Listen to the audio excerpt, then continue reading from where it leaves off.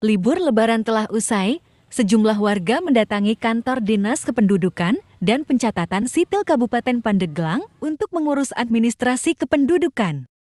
Kasih Administrator Database Kependudukan pada Disduk Capil Pandeglang Samsudin mengungkapkan, pasca libur lebaran kunjungan layanan di Disduk Capil Pandeglang meningkat tajam sejak pagi hingga siang hari.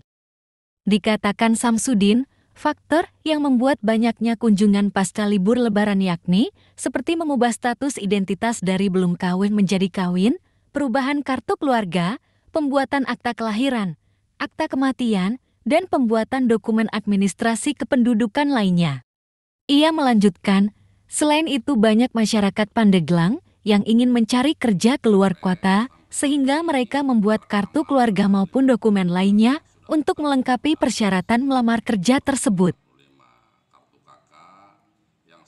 Samsudin menambahkan, berdasarkan data dari Sistem Informasi Administrasi Kependudukan, jumlah warga yang telah mengunjungi perekam KTP sebanyak 55 orang, di antaranya sudah mencetak 15 KTP, bedapun untuk kartu keluarga, terdapat 417 proses input dan 35 KK yang telah dicetak yang saya uh, apa uh, lihat daripada sistem hmm. sistem yang ada di siak kita ini hmm. uh, kunjungan yang datang ke Dukcapil ini uh, sampai jam segini tuh udah 449 449 149 orang 149 yang, orang yang, yang datang itu yang sudah yang sudah kita input proses hmm. itu. Bahkan bisa lebih pak? Ada bisa yang masih ngantri yang belum kita yeah. proses masih ada ya, berkisar sampai 200 200 200 kunjungan, kunjungan totalnya totalnya ya sekitar lah nah. bisa jadi lebih hmm.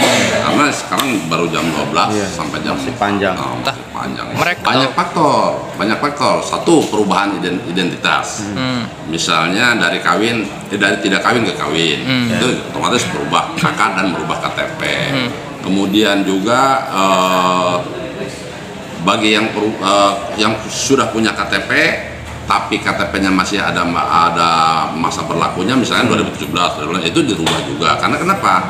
KTP yang ada berlakunya tetap KTP itu masih aktif. Aktif tidak tidak dalam arti tidak aktif tapi berhubungan dengan perbankan ditolak karena ada masa berlaku kan hmm. ya otomatis mereka kalau berhubungan dengan perbankan otomatis belum diganti kan? Itu banyak banyak yang jadi sumber hidup itu pak ya? Ya menjadi sumber hidup. Ya. kemudian uh, terutama uh, akte lahir. Akte lahir juga kenapa?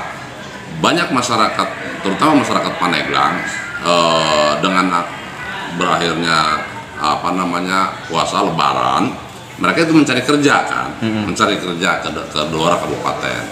Entah itu ke Jakarta, Tangerang dan sebagainya. Nah maka dari itu beliau melengkapi identitas hmm. baik itu akte lahir, hmm. KTP dan kartu KK. Karena kenapa? Ya perusahaan kan sekarang tidak ada yang menerima kalau tidak punya akte lahir dan sebagainya. Dan sebagainya. Nah. Kan.